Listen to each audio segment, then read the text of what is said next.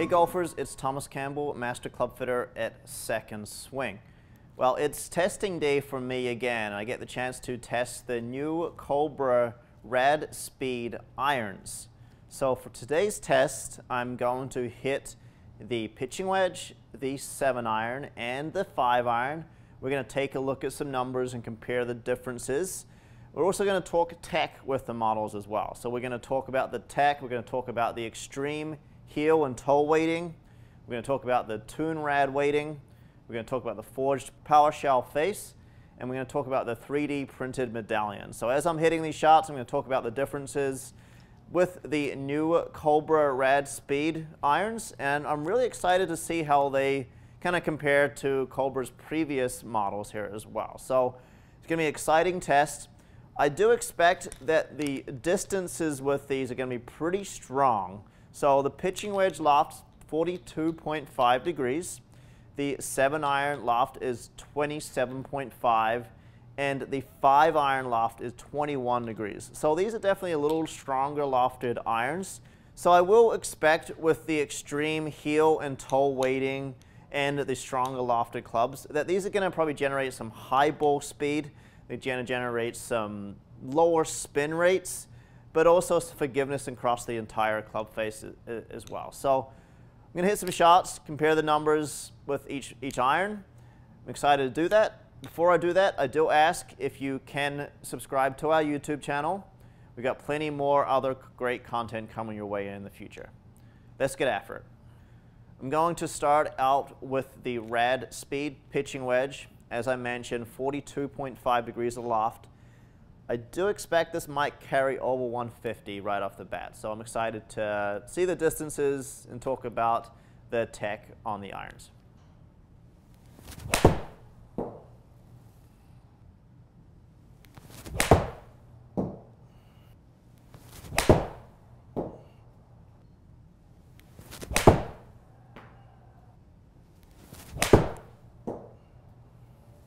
So first thing I noticed when I was hitting the pitching wedge compared to the 7 iron and the 5 iron is I'm looking at the top line. So the top line with the 7 iron and the 5 iron, it's got that, that graphite where they're able to reposition the weight around on, on the club. Now the pitching wedge is a club where you don't need quite as much forgiveness. You're trying to kind of work the ball into the flag a little bit more. So it doesn't have the, uh, the graphite up the top of, of, on the top line there either. Now speaking of top lines, it's not the largest top line ever seen, but it's not the smallest either. So it's definitely a good looking game improvement club to look down at. Definitely a little bit of offset looking, looking down at compared to more of a, a player's iron. But I did like the fact that I could work the ball with it. So we look here, I like to play a tiny little draw. So we notice those five white dots, how close they are together. So very, very consistent every, every single time was able to draw the little ball a little bit. So workability is still in these game improvement irons here as well. Consistency was also pretty good across the face. My ball speed was, with the exception of one that I slightly miss it, the ball speed was basically 115 every single time. If we look at uh, the spin rate, we're looking around about 7,000 RPMs of spin. So kind of talking tech with the irons a little bit. So the extreme heel and toe weighting, so there is 10 grams of weight that goes in the toe and about 3 grams of weight that goes in the heel. What that does is that reduces the spin on the club a little bit. I'm already a relatively low spin iron player, so I would be worried a little bit about this if I was to play these irons. For but for those players that deliver the club a little bit steeper, that need to get the spin rate down to pick up a little bit of distance, this would be a great option. So I just noticed right off the bat the spin rate a little bit on the lower side. I did draw the ball a little bit, but definitely slightly kind of on the lower side there because it's designed to spin just a little bit less. Uh, if we look at the carry distance, I believe it was around about 155, 154.5. We're talking very, very consistent with regards to carry distance, which is exactly what I want out of my wedge because that is my scoring club. I want to make sure it does the same thing every single time. So we had a range from 152.7 to 156.1, which is very, very important. So pitching wedge is done. I'm excited to hit the 7 iron now. I do expect this to spin Once again, a little bit on the, on the lower side. It's got 27 and a half degrees of loft on it. So I will expect some numbers over 200 yards with carry distance.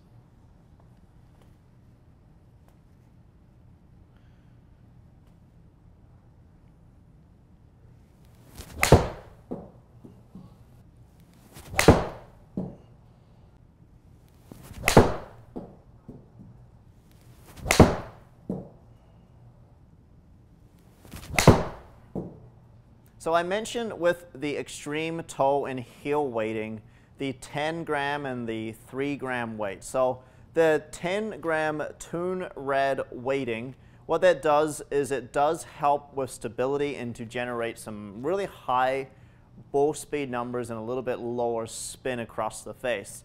So we can definitely notice when I was hitting the 7 iron how high the ball speed numbers were. We're talking pushing very close to 140. It was about 138 to 139 every single time, which shows the stability across the club face. Now, I am a, definitely a better golfer um, than a lot of players that fit into this model here too. But I will say that you will get some consistency on your off-center hits with this club across the board there as well. May not look like it, but I did have a couple that didn't feel like I quite caught it on the middle of the club face but the consistency was there right across the face there as, as well. So speaking on numbers, 7 iron, 138.9 carry distance, spin rate, because this club's designed to spin a little bit less, was 43, 44. Now that's to do with the design with the heel and toe weighting, but also due to the loft, because the loft's got 27 and a half degrees of loft on it. Naturally, it is going to spin less.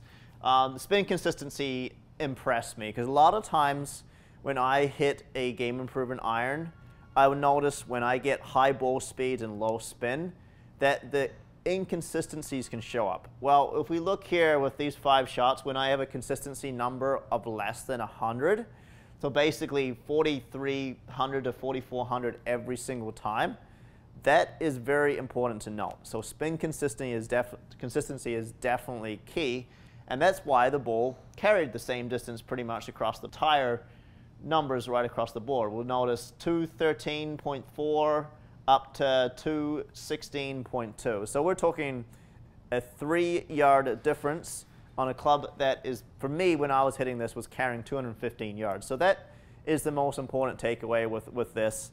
Now, yes, we don't, not always all about distance but it is important to have consistency. So consistency across the board. It was just an added bonus that for players that need a little help to get the ball to go a little further. Maybe those players that spin the ball more than they should. Maybe those players that slice the ball a little bit and cut across it or have a steeper attack angle. Definitely a good option for sure. Um, the height when I was hitting it was about 120 feet in the air. When I was hitting the pitching wedge, it was about 120 feet in the air. So nice consistent height across the board there too. So one other thing I did want to touch on is workability. When I was in the 7 iron, I drew the ball every single time. Normally when I play a game improvement iron, I notice the ball tends to be harder for me to draw. But when I hit this one, we'll notice it had a kind of slight little right to left curve on it every single time, which is a ball flight that you all know that I love to see. So now I've got the 5 iron. As I pick up the 5 iron, I do want to just touch on the 3D printed medallion. So on the back, we can notice there's some 3D print, printing going on here. It's really kind of unique. What this does is it really saves weight on the club and allows you to make a little more lighter club head to generate some more club speed, to generate some more ball speed, and some more distance across the face here. But not only generate distance, but also feel good off the club face as well.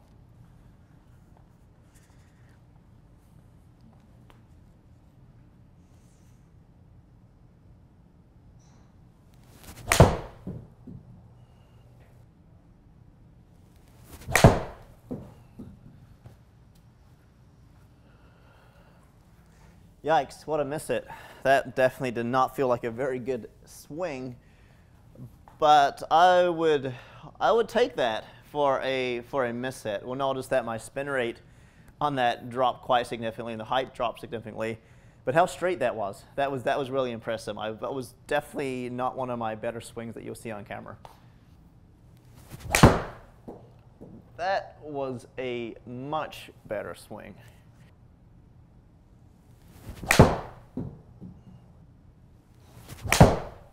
That was a better swing too.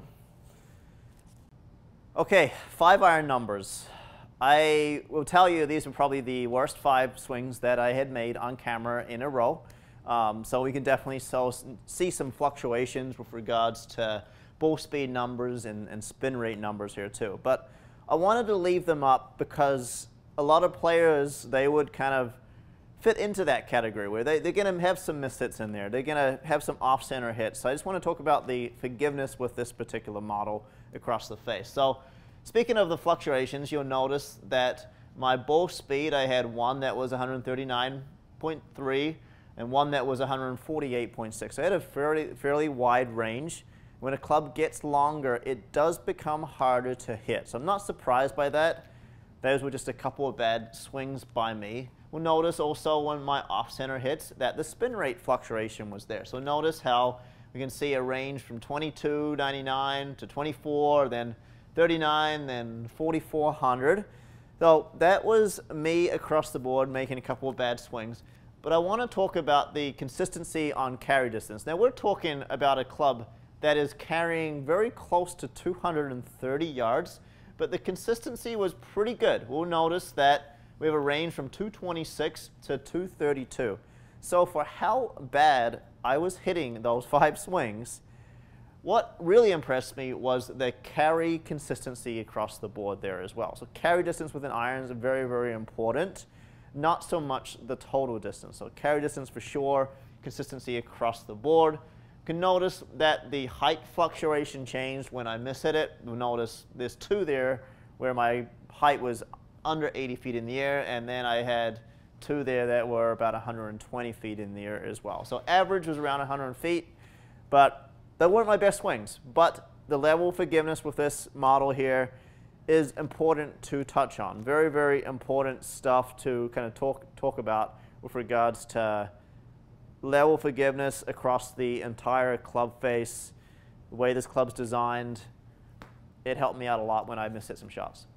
So also important is dispersion. So we'll notice I actually had four really close together there with regards to dispersion. And then I had the one that I pulled over to the left there. So consistency, talking about that carry distance with regards to consistency, the ball that's going 230 yards, very, very impressive. So I know my numbers really, really well with my clubs. The other great thing that comes with Cobra, all Cobra equipment these days, is the Cobra Connect. So Cobra has partnered with Arccos. So Cobra Connect, I've been using Arccos and Cobra Connect grips in 2020 myself. And you will be able to understand and analyze your distance numbers, you could probably submit them to your fitter. You could submit them to your coach and work back and forth to really see what parts of your game need work. Not only does it have a built-in GPS system on, for, on your phone to know how far golf courses play, but it also has a very in-depth analytics system there that you can analyze your, your golf, golf clubs out with. So Cobra Connect comes with a free 90-day trial period when you purchase Cobra equipment there too. So highly recommend Cobra Connect.